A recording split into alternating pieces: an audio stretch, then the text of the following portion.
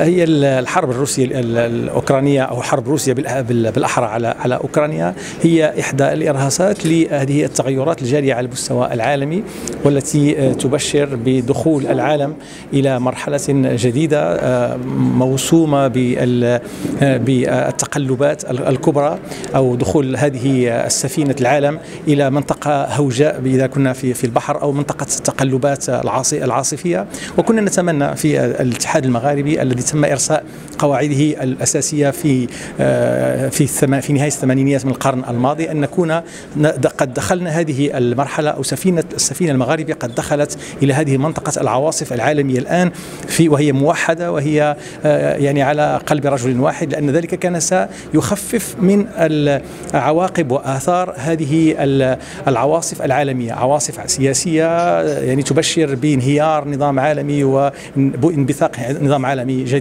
وطبعا انهيار النظام وانبثاق نظام آخر يعني حروبا أكثر في ظل الأزمات في ظل الأوبئة في ظل التقلبات حتى المناخية وانعكاسات يعني التغيرات المناخية سيؤدي إلى هجرات وهجره بسبب التغيرات المناخية. هناك تنافس دولي على الساحة الإفريقية. طبعا والمنطقة المغربية جزء منها سيؤدي إلى احتدام هذه هذه الصراعات. كما أن هناك يعني اهدافا من وراء التنافس حول إفريقيا يعني زعزعة استقرار هذه المنطقة بصفة عامة الإفريقية ومن ضمنها أيضا المنطقة المغاربية خدمة للأهداف القوى الكبرى التي تتنازع على على على السيطرة على العالم وبالتالي يعني إضعاف طرف للطرف الآخر إضعاف الروس روسيا للطرف الغربي أو العكس الصيني للطرف الغربي أو الطرف الغربي لهذين الطرفين يقتضي إضعافه في كل نقاط النزاع في العالم ونحن ضمن هذه المنطقة في منطقة حساسة ما بين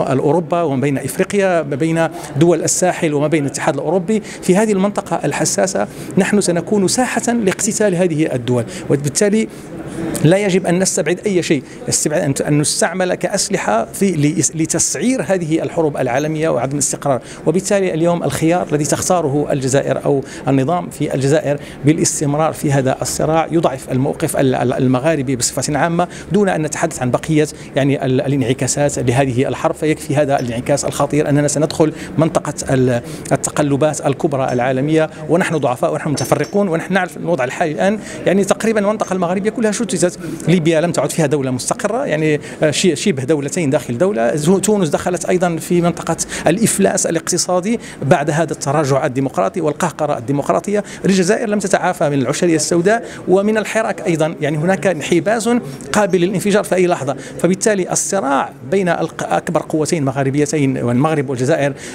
في بسبب يعني تعنت النظام الجزائري سيجعل هذه المنطقة يعني أقل من من حتى في مواضع شتى كما يقال. على المستوى الجيوبوليتيكي.